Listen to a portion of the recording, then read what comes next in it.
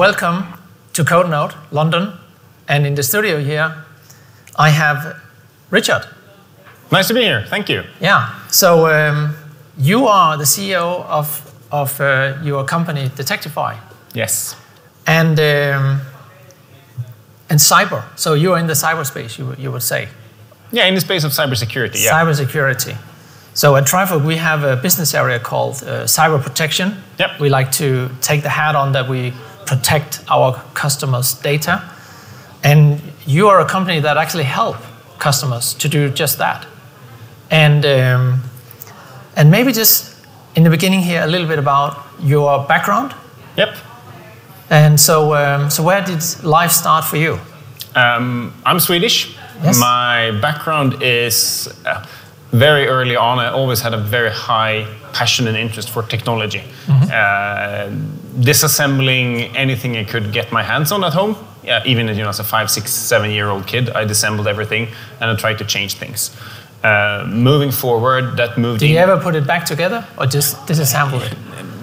partially sometimes put it Okay. together. Put it together. So I guess it was a bit of fun thing for my parents. Um, but then later on, I always continued to try not to do things the standard way. I always try to find like the, the fun and creative way of doing things. Uh, but eventually, university-wise, ended up in applied physics, applied math, financial mathematics, robotics. So the mix between physics and math and computer science. Um, did that for, for a university, but in the end, very common would be to end up end that with like a PhD or something. But I realized I didn't want to do it, so I became a management consultant actually uh, on the side uh, in, instead. So I worked as management consultant for technology companies for about three and a half years in Stockholm and San Francisco. But then realized I wanted to get back to more technical things, and that was when I was introduced to my technical co-founders uh, that had started to write the prototype of Detectify. So you were brought in as the business guy in the company that already had Yeah. product. It started. It has the foundation of a Yeah. small product in place, and I was brought in because of a mix between then the business consulting and business head, but actually the real background in technology. Because mm-hmm. yeah, I guess they forced us through. I don't know, 15, 20 languages or coding languages at university just because you have to solve problems. Mm-hmm. So have the background in tech, but then learn some of the business sides as mm-hmm. well. And, and what do you like to do in your spare time? What is uh, you, some of your passions you have? I've been. I try to. If I would get to do one thing in terms of like sports, it would be skiing. Uh, Yeah. I'm an an alpine racer. I am a ski instructor. I still do masters racing at age of now 37. So I started racing again with my ski club uh, and ski touring all over the world. Uh, that would be one. That's one thing. I also spent the last four years building a house by myself. Um, so did that instead of instead of just hiring contractors. So why not do it next to running a company? Then I hope you will come and visit me in Switzerland. Ah, okay. I, I have my daily life in Switzerland and, and I'm just setting up a new clubhouse. Um, this is our London clubhouse. Yeah. I'm setting up a new clubhouse in Andermatt in Switzerland. If you, Nice place. If you know that area. Yeah. So I hope to see you there one day. So also um, the company. So maybe tell about exactly how you work with your customers. You know, what's your what's your mission? What we do is that we help organizations understand their external attack surface. Hmm. Because what's happening when most organizations today, they want to, I mean, everyone has left old development, waterfall hmm. type of processes. Everyone is, move, is aiming nowadays to move as fast as possible. Mm-hmm. And in the same time, with that, you need to decentralize security. Yes. But what happens then is, or many companies losing control. They don't know what they're exposing. So mm-hmm. they know they don't know their ex- external attack surface because the the technology stack and what is being changed so rapidly and so frequently for companies. So mm-hmm. we help organizations getting that outside in view of their attack surface and then we simulate attacks toward that one so we can also try to point out any like weaknesses or improvements that can be made. So you have continuous development, continuous deployment, continuous everything. So you actually represent continuous white hacking. Yeah. Yes. So So, we, we simulate attacks Yeah. and hacks towards your external attack surface. And how you do that? How do you do the split between uh, hours you put in, so real people hacking or, Yeah. or trying to penetrate the, the surfaces, and how much is done with tools? What, what, where are you there on the We are 100% tool based. You're tool based? Yeah. So, we are we have as our company we have no like professional services or Mm-hmm. manual hacking activities like or penetration testers. Or we have pen testers employed Mm-hmm. at Detectify, but they don't work as pen testers. They work as security researchers, trying to Mm-hmm. find and develop new attack methods Mm. so that we can implement them. And we also work with a group of nowadays about 400 freelance hackers. Mm-hmm. So when they find new attack methods, Mm-hmm. Yeah. they send them to us. Mm-hmm. We implement them as security tests and modules, and then we run those tests on our customer base. Mm. And we can be very fast. I think that's the thing. From mm-hmm. we get something submitted from our external hackers Yeah. to when we have it live, we're down to 15 minutes today. Mm. And what do you call such a pattern? It's like a, a security test or a module. Okay. Yeah. And then you immediately change this, the software that then tests your customer software. Yeah. So where will Detectify be in five years' time? It's an extremely hard question to answer mm. because if anyone would be able to tell where cybersecurity mm. needs will be in five year time, I think it would be a very hard mm. question to answer. What I know is we work with freelancers because we know that no company will be able to employ all the security experts they need internally. So we need so we base our company on crowdsourcing of security mm. knowledge. Mm. I know that that will be a, so to say, a stable base for the company. Mm. But then exactly how we take things from the freelancers and automate it and how we run those tests and on what technologies, I don't really know. But I think that's the benefit of working with external researchers because we will always have trying to have always the best knowledge. So, having just passed, hopefully, this COVID, you can say, incident Yeah. or event in the world for the past two years, where we had lockdowns, opening lockdowns again. Um, I know from my company that um, we were fairly quick to transfer into working remote, and because it was actually something we were already doing before, and our customers were not always prepared for that. But even the most conservative uh, companies, they had to learn it quite Yep. quickly. So how how was that? How did that affect the security, you can say, situation around um, enterprises as you see it, and how did it affect your your company? Uh, I would say that it impacted enterprises. Enterprises have that still trying to see security with with the consideration of a perimeter. That they say, okay, inside of this perimeter, you can do whatever you want almost, and outside of the perimeter, we're mm. trying to keep the bad people outside. People Yes. that had a security setup that was very he- heavily based on a perimeter, mm. they most they most likely saw much higher risks because Yeah. suddenly the perimeter, since people were not logged into the Ethernet cable in the office, but they actually needed to. Mm. So to say, dial in from the outside, Yeah. risks increased because the, mm. the perimeter organizations that didn't, that is much more zero trust or the perimeterless company or BeyondCorp or these different methods that mm. has, I think they saw not so much increase in security risks No. at all. So it depends in what I would say in what stage or how mm. modern you are as a company, Yes. the security risk that you see. And then for us as Detectify, of course, it was it's super hard. I think half of the people that now work at Detectify have been onboarded through a pandemic. So they haven't met all their colleagues, of course, and all of these things.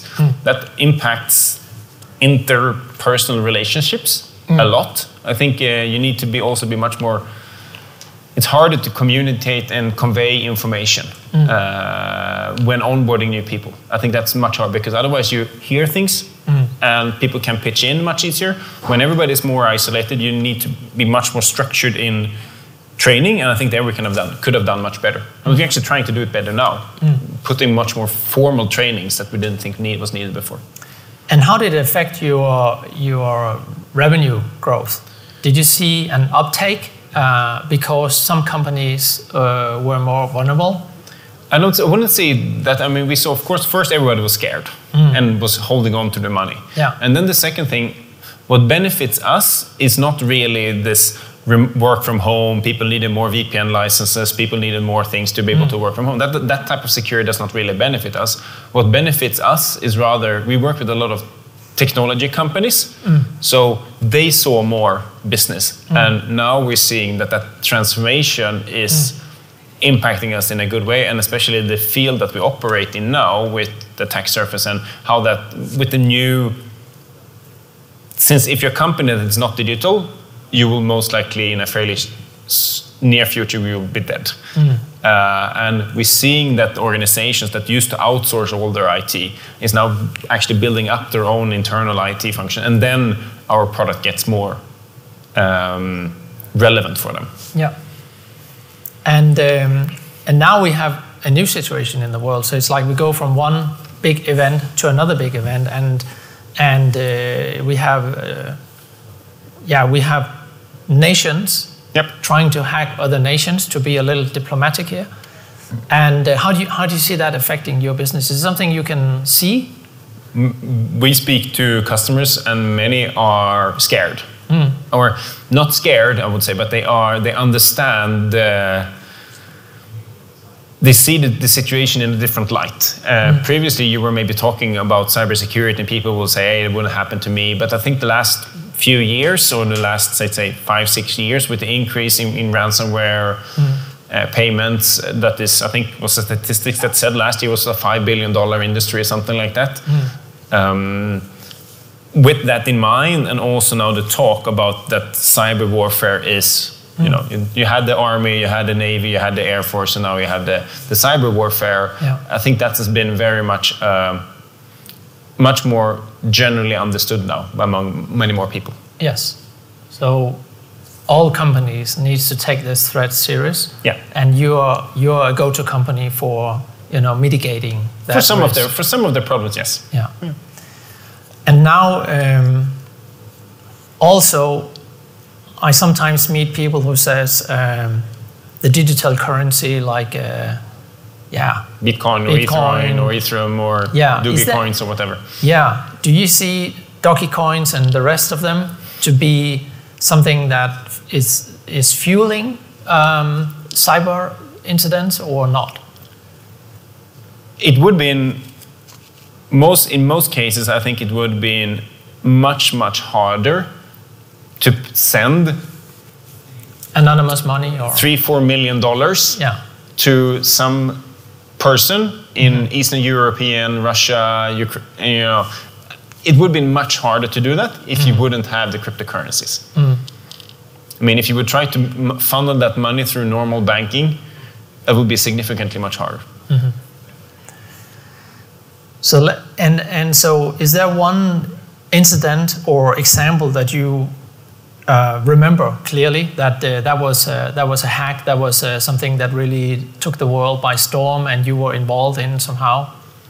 I think there have been multiple, okay, but didn't maybe didn't take the world by storm. I would say, but you know, our team has been involved in in quite a few interesting research topics. I think one of the more relevant one, or that had a very big impact, was uh, a new way of issuing SSL certificate is Let's Encrypt, and our team found a way on how to issue a certificate for any domain.